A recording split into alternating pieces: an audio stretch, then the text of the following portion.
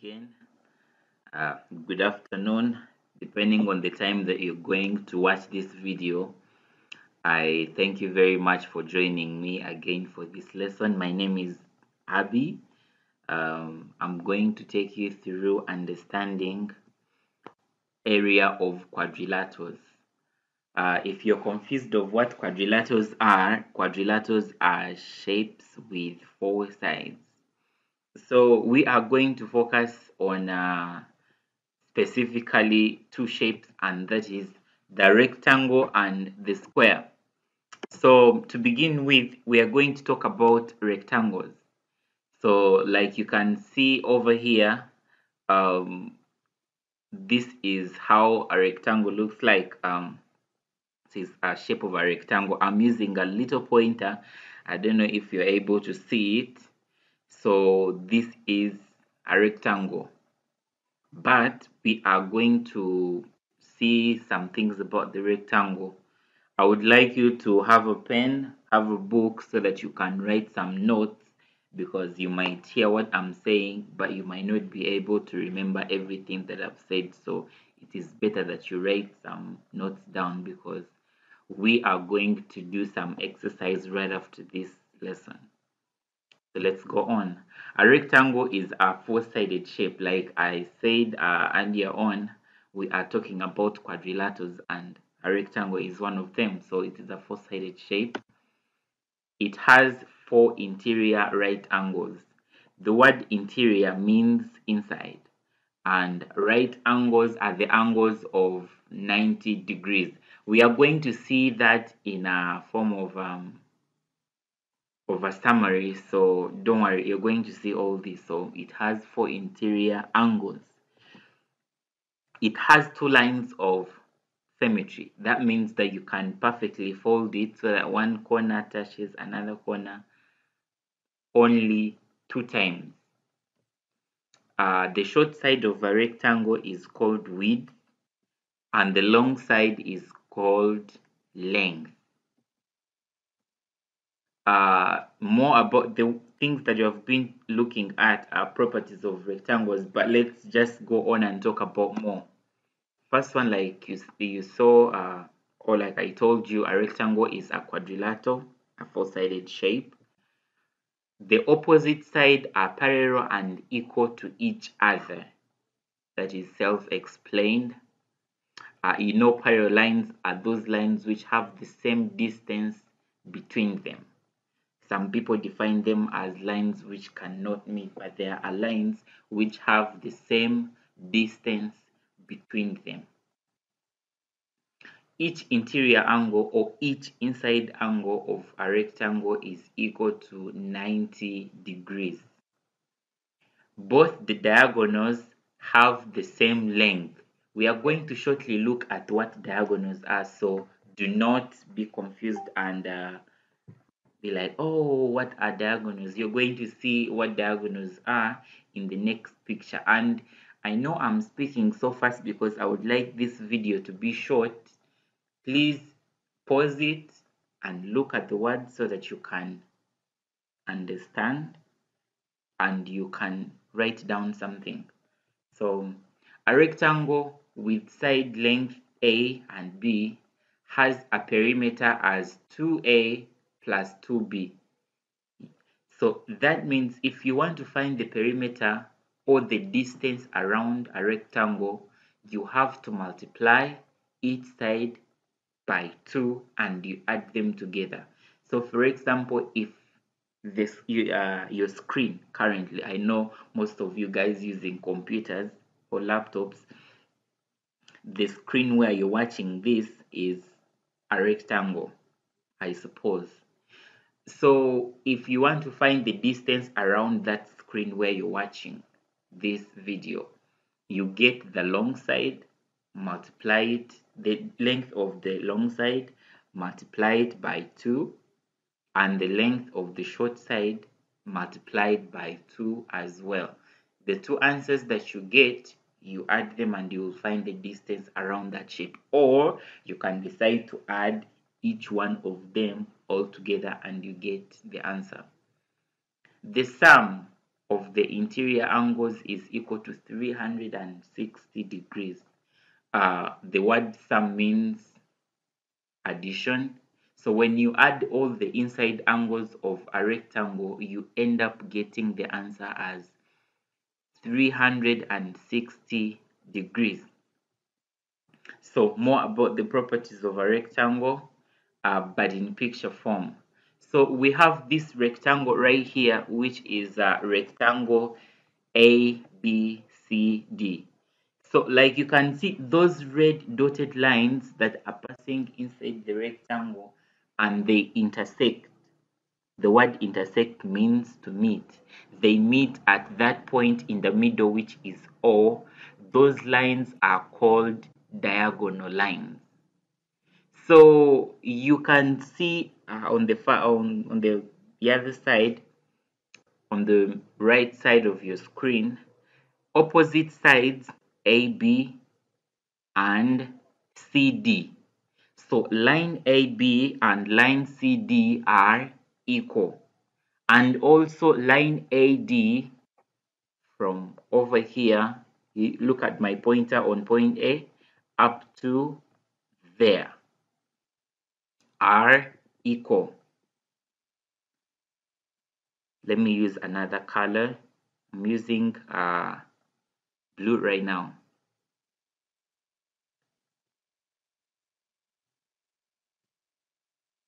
So um, over there is line uh, is point A and point D. So line AD from here up to there is equal to BC, line BC. So the diagonals AO from over there in the corner up to the middle here is equal to OC. So the distance from point A to point O is the same as O to C. And you also have to understand that the distance from D to O is equal to the distance from O to B And another thing that I didn't include in this picture and um, I would like you to understand is like diagonal AC is equal to diagonal BD. So the length of this diagonal AC is equal to the length of BD. So the angles, you look at the inside angles like I was telling you, over here angle A, angle B, angle C, and angle D are all equal to 90 degrees. All these angles that you can see are equal to 90 degrees. Let's go on. So, how to find the area of a rectangle? Uh, like we saw in the live lesson um, on Wednesday, to find the area of a rectangle, you multiply the length, that is the long side, by the width. And the formula is A is equal to L times W, where A stands for area and L stands for length and W stands for width. So this sign over here that you can see usually means to multiply. So don't be confused by the star and like it is something which is uh, mathematical or anything. It means multiply. So let's look at a square, which by the way almost looks like a rectangle, but it has one one single difference from the rectangle.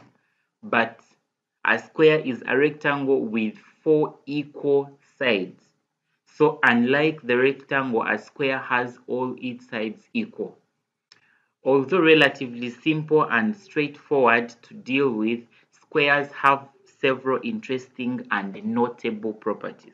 We are going to look at the properties of the square. So this is how a square looks like. These lines, these short, short lines that you can see over here are put there to show you that all the sides of this shape, the square, are equal.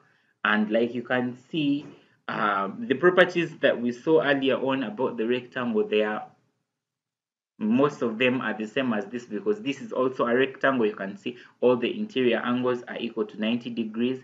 And if if i put a diagonal here and i put another diagonal over there the diagonals are also going to be of the same length.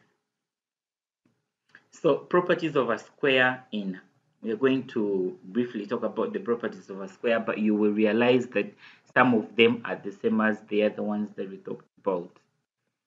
So the, the diagonals of a square bisect each other and meet at 90 degrees. The diagonals of a square bisect its angles.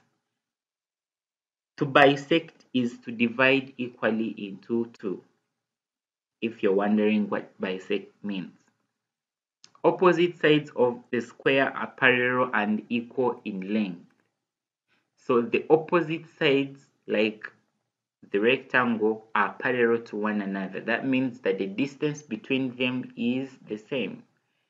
So all four angles of the square are equal and as you remember they are all equal to 90 degrees and we are probably not going to look at this again but when you add all the interior angles or the inside angles you end up getting the answer as 360 degrees.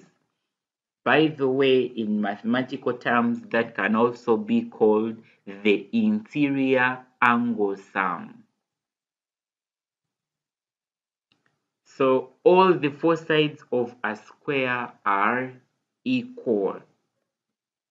The diagonals of the square are equal. Okay, so how about finding the area of a square? So the area of a square is given by area equals a squared. And you know, when you talk about a letter squared, that means it is that letter multiplied by that letter. So if I write a squared, it simply means a times a and uh, I decided to use A. You can use anything else. Some people use ACE because it is for sides, or some other people use L, which is for length. It doesn't matter. Uh, so long as you mean that letter that you're using is the length of the side of a of the square. So if I give you an example, like you took a picture and that picture is in a square form. You took a selfie in the morning, and that selfie is um is in a square form, and you would like to know what area does it cover. You can get the side of that picture multiplied by the side of that picture and you end up getting the area of the picture that you took or if you let's give an, an example which I'm not going to write over here uh, or maybe I can decide to write something I don't know if that is possible right now. Um, suppose you find um, let me try to draw a square over here. I'm sorry it is not going to be perfect because I'm not using um, straight lines. So let me try to draw a, a little square over here in um, using a pen.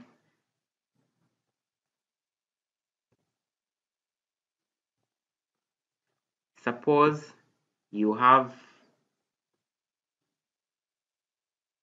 a square that looks like this. And you would like to find its area. And this side is 7 centimeters.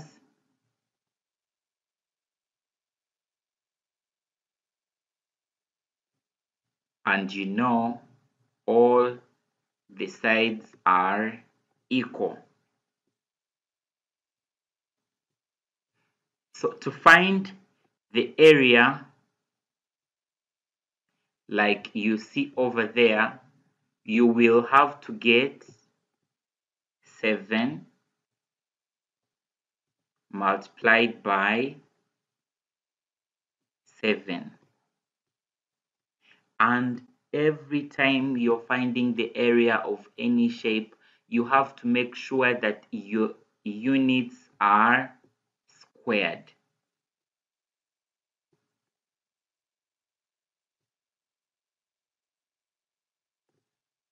excuse my handwriting because this this is not how I write so the area of this square will be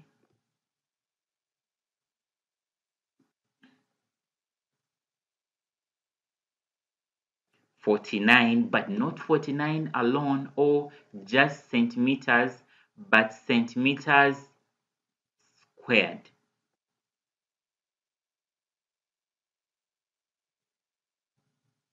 Ah, there you have it. And I know we are not talking about uh, perimeter, but it is also important for you guys to know that the perimeter of a square is given by a formula 4a, where you get 4 multiplied by the length of the side. Let's go on and I would like you guys to watch this video over here. So I'm going to keep quiet and I would like you guys to watch this video. How to find the area of a rectangle. Area is the amount of space inside a flat shape. It's important for everyone to know how to find it. Adults need to find the area of a room to buy the right amount of flooring and you need to know it in school to ace your tests. The first shape we work with in school is a rectangle. Area is measured in square units, so let's divide this rectangle up into square units and find out how many it has. 5, 10, 15. 15 square units. We have three rows of 5. 3 times 5 is 15. The quickest way of finding the area of a rectangle is to measure two adjacent sides and multiply those numbers. These sides are next to each other, so they're adjacent. We call them length and width. So the area of a rectangle is length times width. If we're finding the area of this rectangle here, we could carve it up into little squares and count all of those, but that would take a long time on a big rectangle. Instead, it's always much quicker to multiply length times width to get the area. On our rectangle, length is 10 metres and the width is 7 metres. Area is length times width, so 10 times 7 is 70. 70 what? The diagram shows us the measurements are in metres, so we have to put that in our answer. Area is 70 m for metres squared. The little 2 superscripted up here stands for squared. It makes sense because we measured in two dimensions, length and width. Here's one last rectangle. The length is 10 centimetres and the width is 4 centimetres. Area is length times width, so 10 times 4 is 40. The area is 40 centimetres squared. Always use that unit of measurement squared in your answer. If you forget